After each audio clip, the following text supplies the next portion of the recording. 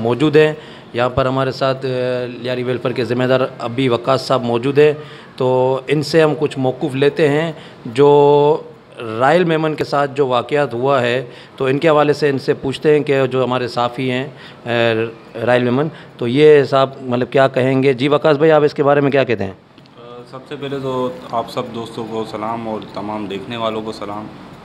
اور جہاں تک اس واقعے کی بات ہے کہ کل جب میں نے یہ ویڈیو دیکھی جب مجھے کسی نے بتایا نہیں، جب مجھے یہ ویڈیو میں نے دیکھی سوشل میڈیا پہ، تو مطلب میں تو ایک طرح سے حیران ہی ہو گیا کہ اگر کوئی سمجھے بچے لڑ رہے ہوتے تو بندہ حیران نہیں ہوتا ہے۔ لیکن ایک senior person most senior most senior person کہ میں جب سے میں نے ہوش سنبھالا ہے، تب سے میں ان کو پولیٹکس میں دیکھ رہا ہوں۔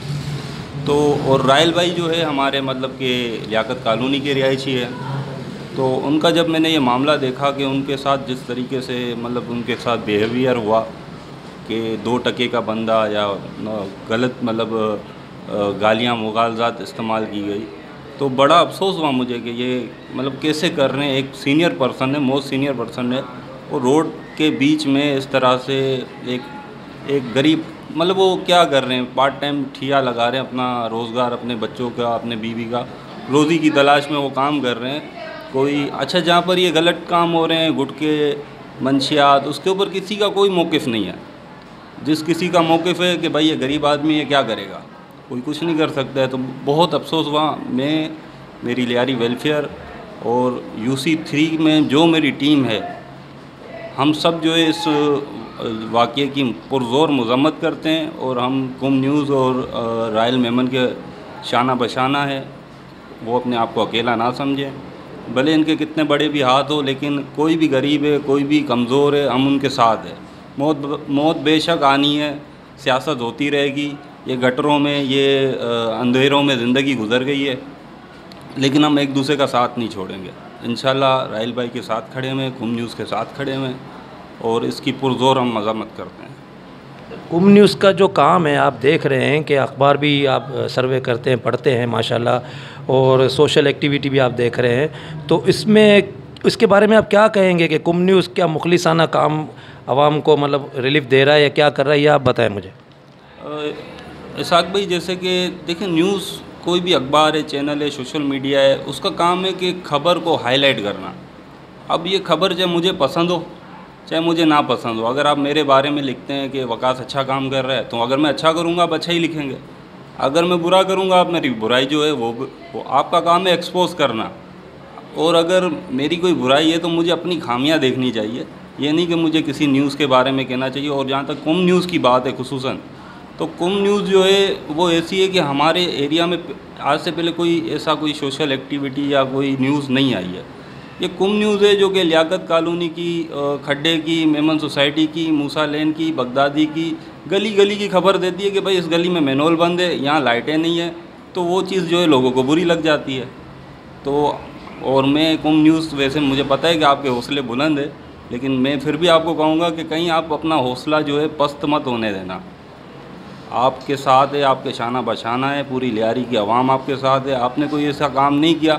کہ جس سے ہم مطلب پیچھے ہٹے کہ نہیں یار کم نیوز جو ہے غلط کریے کم نیوز نے بہت اچھا کام کیا ہے۔ گلی گلی گھر گھر کی بات کو، مسائل کو ایکسپوز کر رہی ہے۔ تو میری طرف سے جو ہے آپ کو ویل ڈن ہے۔ میں بالکل آپ کے ساتھ ہوں۔ ہمارے ساتھ جو ہے اس وقت جو ہے Roshan Rasta social welfare society registered کے چیئرمین عدیل احمد خطری صاحب بھی موجود ہیں۔ تو ان کے، ان سے بھی کچھ موقف لیتے ہیں کہ وہ کچھ ان کے بارے میں کہیں۔ بسم اللہ الرحمن الرحیم۔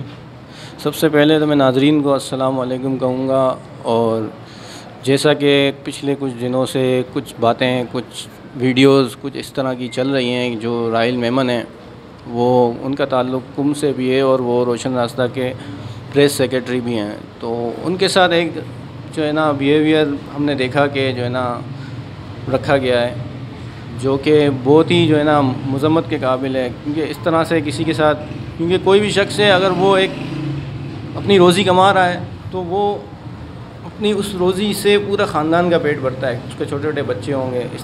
تو ہمیں ان چیزوں کو سوچنا چاہیے۔ ہمیں جو ہے نا، کوئی بھی خبر کم نیوز کے توسل سے چل رہی ہے یا کسی بھی توسل سے چل رہی ہے، تو اس سے ہم پرسنل نہیں لے سکتے۔ کیونکہ ہمیں ہمارا کسی سے کوئی جو ہے نا وہ نہیں ہے۔